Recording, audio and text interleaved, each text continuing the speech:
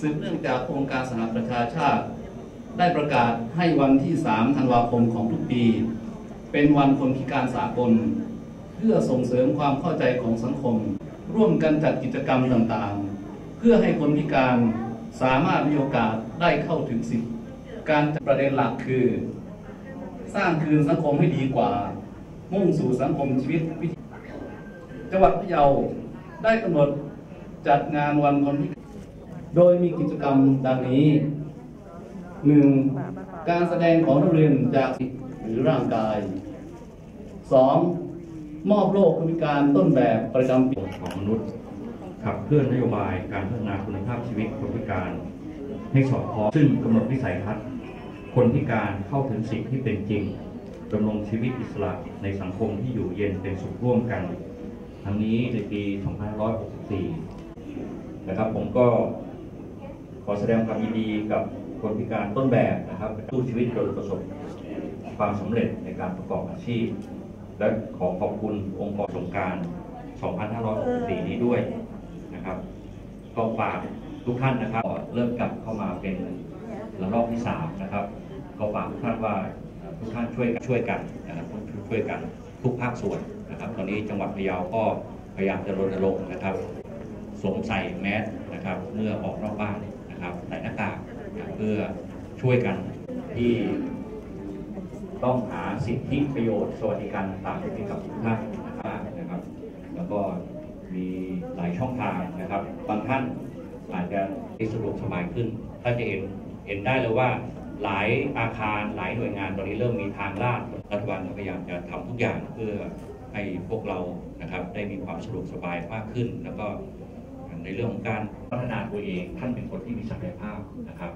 ครับ ขอเป็นกำลังใจให้ทุกท่านนะครับ เราอยู่ด้วยกันตามวัตถุประสงค์ตามที่ตั้งไว้ทุกประการ และขออำนวยพรให้ทุกท่าน มีกำลังกายและประเทศชาติสืบไปขอบคุณครับครับก็ต้องขอกราบขอบคุณนะครับท่านประธานในพิธีในวันนี้ครับขออนุญาตท่านได้ประจำจุดสักพักหนึ่งค่ะขออนุญาตเตรียมสถานที่นิดหนึ่งนะเอาสักเลขห้าก็แล้วกันนะคะ ค่ะ ช่วยกันเนาะช่วยกันนะคะ อ่าเราอยู่ด้วยกันร่วมกันนะคะห้าสี่สามสองหนึ่งค่ะ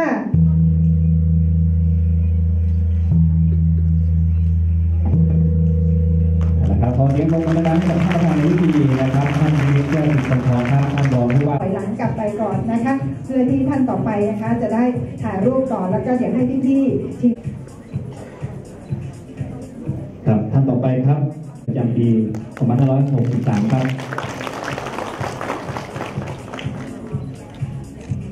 ก่อนด้านคนพิการประจำปี 2563ระดับดีมากนะคะคุณสุรเชษฐ์คำนวณประธานชมผู้นำองค์กรคนพิการดีเด่นประจำปี 2563 ค่ะ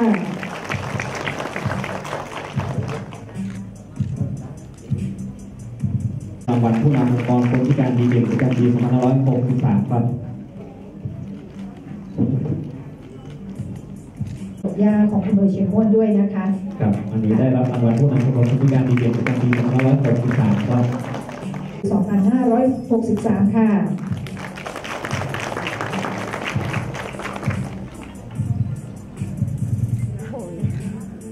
ดีเด่นประจำปี2563 ครับขอเสียงปรบมือด้วยค่ะ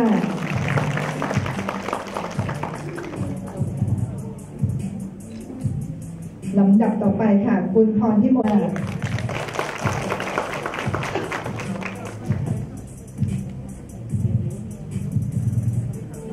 ครับลำดับต่อไปครับการดีเด่นประจำปี 2563 ครับ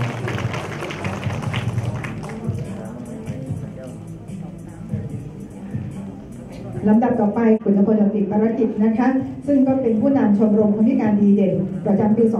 2563 ค่ะขอสิงปรบมือประกวดคนพิการต้นแบบประจำปีที่ผ่านมานะคะหน่วยงานดีเด่นด้านองค์กรองค์กรพิการอีก4หน่วยงานด้วยกันนะคะ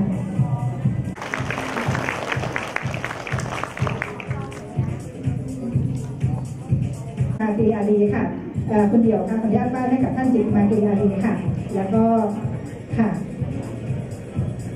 ขออนุญาตค่ะขออนุญาตถ่ายรูปร่วมกันนะคะ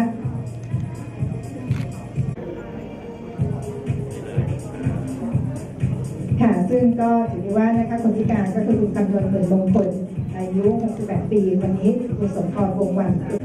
ซึ่งเป็นผู้แทนนะคะของคุณแก้วมานำบุญนะคะ ซึ่งคุณแก้วมาเนี่ยก็จะเป็นประเภทของการเคลื่อนไหวนะคะค่ะซึ่ง